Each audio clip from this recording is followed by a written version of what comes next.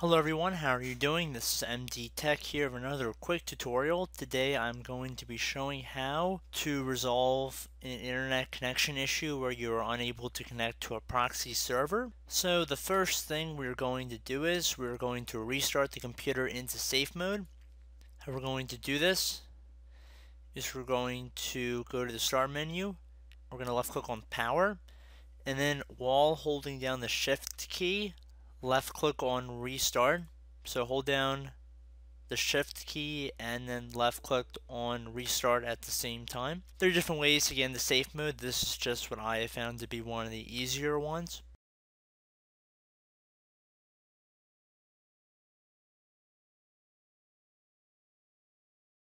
Okay, so under choose an option, we want to left click on troubleshoot, left click on advanced options, left click on startup settings. Now we want to click on restart.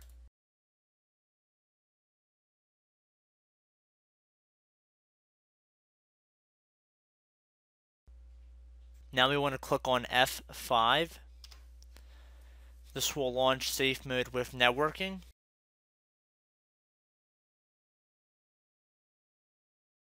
Now if we have a password on this computer, we have to type it in.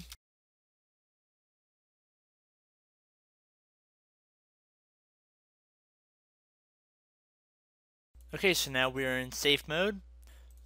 Now we want to right click on the start button, left click on run. Now we want to type in reg edit, R-E-G-E-D-I-T, then left click on OK going to blow this up full screen here. Now we want to go underneath the directory H key current user. So left click on this little arrow. Now we want to click on the little arrow next to software.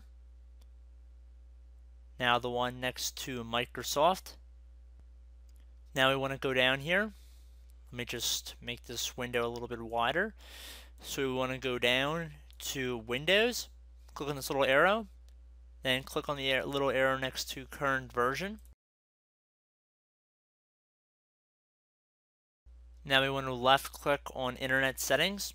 Now we want to delete proxy enable and proxy server. So under proxy enable, you can either click on the delete key on your keyboard or right click on it and left click on delete. We want to confirm that we want to delete that. And then this one, named proxy server. Right click on that. Left click on delete. Are you sure you want to delete it? Yes. Now we can close out of this and we can restart our computer.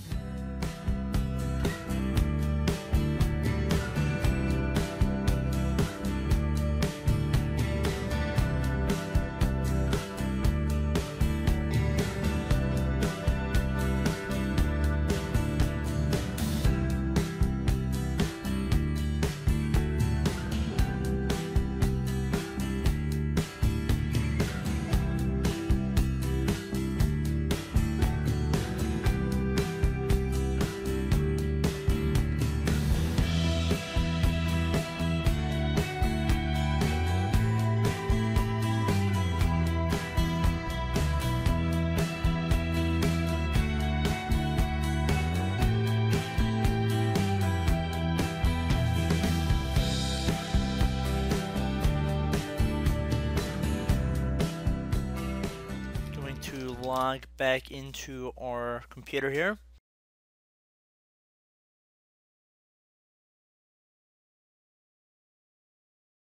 And if we try and go back onto the internet, and we try and go to google.com, we see that we are good to go. So I hope this tutorial helped you out, and I will see you in the next video. Goodbye.